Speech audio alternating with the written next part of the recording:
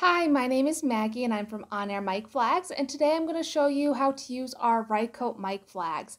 When you place an order for your Rycote mic flags, you will get an instructional pamphlet, but we still have customers that have some questions. So, we have our two Rycote options, our triangle and our cube, and uh, we also have black or white frames. Now, inside the Rycote mic flag, there are some rubber, uh, rubber vanes that hold your mic flag in place. They comfortably fit on your pointer finger, just holding it right there, um, just as is.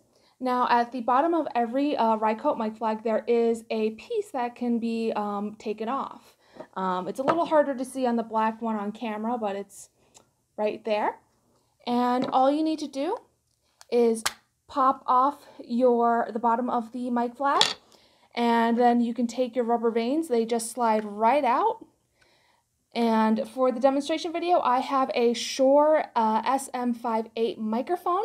And for this particular size microphone, I like actually taking out all of one color. Um, so I'm going to just slide all those pieces out. And then I pop my bottom back on.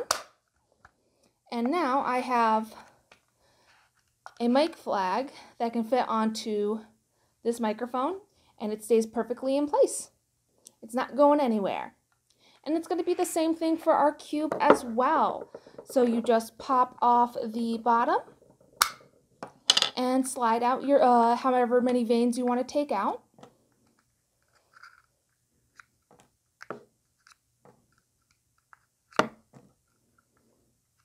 And then you pop your bottom back on.